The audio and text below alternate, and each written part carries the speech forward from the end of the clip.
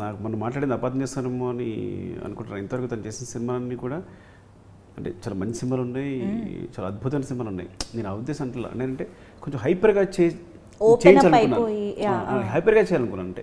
అంటే ఉన్నా కానీ సెటిల్గా లేకపోతే ఇంకొంచెం ఇదిగా ఉన్నాయి. కాకుండా నేను ఏమనుకున్నానంటే ఈ క్యారెక్టర్ ద్వారా హైపర్గా చేయించాలనుకున్నా సో అంత హైపర్గా లేకపోతే చేసి ఆ రేటు లేక అట్లా ఇలా ఉంటాయి కదా క్యారెక్టరేషన్స్ ఇప్పుడు నాన్న ప్రేమతో ఉంది. తారక్ క్యారెక్టరేషన్ తీసుకుంటే సెటిల్గా ఉంటుంది. ఇవన్నీ అనుకోండి మహేష్ గారి క్యారెక్టరేషన్ తీసుకు ఆయన క్యారెక్టర్ తీసుకున్నా సరే సెటిల్గా ఉంటుంది.